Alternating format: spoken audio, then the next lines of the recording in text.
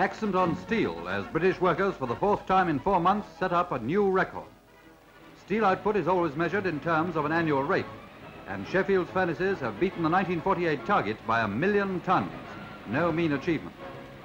Good news for Britain and the world as the high level of production reflects the continued success of the home scrap drive.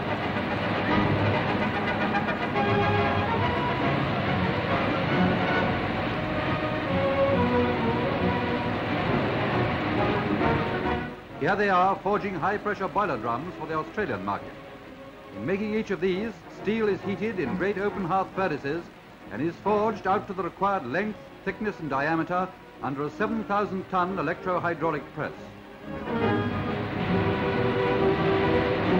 On completion, the huge drum is ready for loading onto the special train which will carry it away on the first part of its long overseas trip.